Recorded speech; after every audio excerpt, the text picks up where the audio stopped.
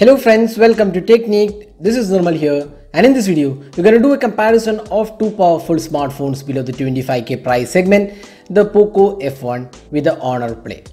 So these two smartphones are really uh, powerful hardware with a flagship processor. We have the Snapdragon 845 on the Poco F1 while we have the Kirin 970 on the Honor Play.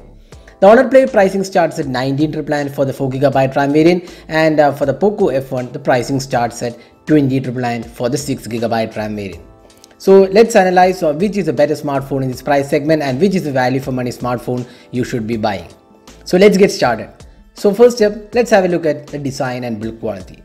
So design wise you can see that both these devices are quite similar. Both the smartphones have the notch display and uh, the display size is slightly bigger on the Honor Play even though the form factor is almost similar. So you can see that the bezels are slightly lesser on the Honor Play when compared to the Poco F1. Now going to the back panel you can see that the, these are completely different. We have the polycarbonate finish on the Poco F1 while we have a metal construction and the antenna bands are neatly integrated onto the uh, top panel. So Honor Play definitely has a metal construction while it's a polycarbonate finishing on the Poco F1 which isn't bad by any means. So in terms of design and build quality, we would say that both these devices are pretty good in terms of the build quality. Design wise, we would say that Honor Play definitely has an edge because of the lesser bezels and a, a slightly slimmer form factor. Now moving on to the display. So both these devices have a full HD plus resolution display with 19 is to 9 aspect ratio. We have 6.13 inches full HD plus resolution display while it's a 6.3 inches full HD plus resolution display on the Honor Play. Now the display quality uh, definitely the Honor Play wins here because uh, we have seen uh, the display on the Poco F1 not being the best out there and there is also uh, a lot of uh, screen bleeding issues being reported and on top of that the display quality on the Honor Play is easily one of the best and uh, we have seen that this is a really a great display use and the touch response is also pretty good. Now there is Gorilla Glass protection on the Poco F1 but nothing mentioned on the Honor Play. So display wise, the quality wise, we would say the Honor Play is our choice.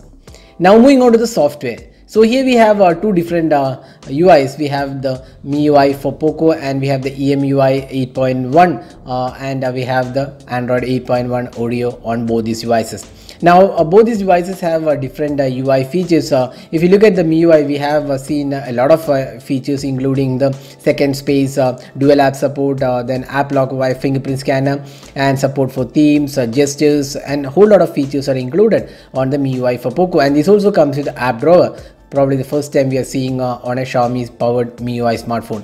Now the Honor Play uh, comes with uh, EMUI 8.1 again EMUI is uh, definitely one of the great UIs uh, available. It offers tons of features and uh, options and uh, including the smart assistant uh, support for themes dual app support and uh, customization with our themes app so both these UIs are pretty good but in terms of the UI response we feel the MIUI for Poco is a tad superior than the EMUI in terms of the overall performance performance.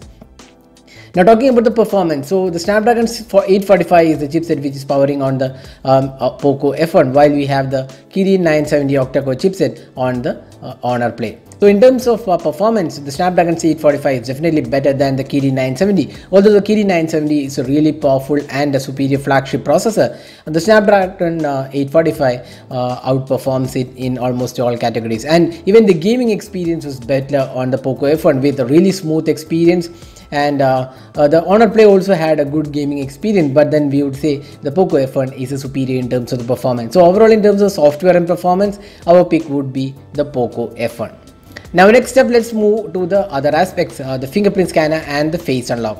So both these devices have fingerprint scanners uh, located at the back panel. Both are almost similar in ter terms of performance and accurate as well.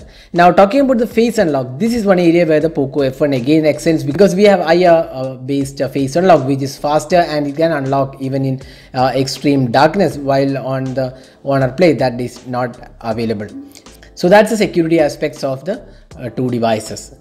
Now looking at uh, the cameras. So we have a dual camera system on both these devices. We have a, a 12 megapixel primary camera with f-stop 1.9 aperture and a secondary 5 megapixel camera while we have a 16 megapixel f2.2 camera and a secondary 2 megapixel camera for depth sensing. The sensor on the Poco F1 is superior with the Sony IMX sensor and uh, on the front panel we have a 20 megapixel shooter on the Poco F1 while we have a 16 megapixel shooter on the Honor Play.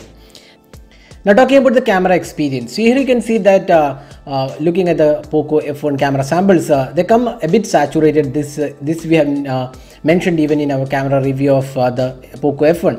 While on the other hand, the colors are a bit more realistic on the Honor Play.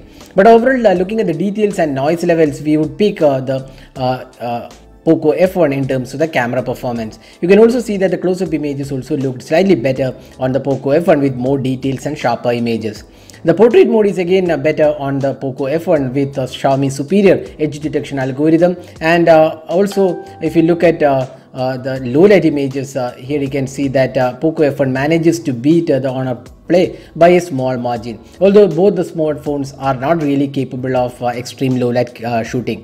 Now finally talking about the selfie experience here again the Poco's F1 uh, does a slightly better job along with that portrait mode the edge detection was a tad superior. Now in terms of the video recording as well both the devices offer EIS but again Poco F1 was slightly better even though it was saturated. So overall in terms of the camera performance Poco F1 definitely has an edge over the Honor Play.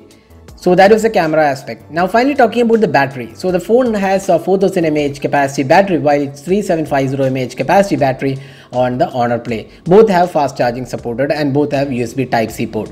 Now battery performance is quite similar on both the phones where we could get almost like uh, 5 to 6 hours of screen on time easily on both these devices. Again uh, the battery performance was a tad superior on the Poco F1 uh, by a small margin uh, and uh, this has a slightly higher capacity battery. So now summing up, which is the better smartphone to buy? So Poco F1 now base variant at 6GB RAM and 64GB storage is priced 20999 that's 21000 while uh, 4GB RAM and 64GB storage on Honor Play is priced 20000 so the Poco F1 has an advantage in terms of the performance, the software, slightly better camera and slightly better battery life while the Honor Play has an edge in terms of the build quality as well as the display. Honor Play at 20 to 20,000 is definitely one of the best value for money device out there but if you're ready to spend 1k more the Poco F1 makes even better value for money with the Snapdragon 845 chipset and better overall experience. So our pick between these two devices is the Poco F1. So that's all guys with the comparison of the Poco F1 with the Honor Play. Hope you enjoyed watching this video. Do hit that like button and also hit that subscribe button for more videos. This is Nirmal signing off. Thanks for watching. Hope to see you in our next video. Have a great day.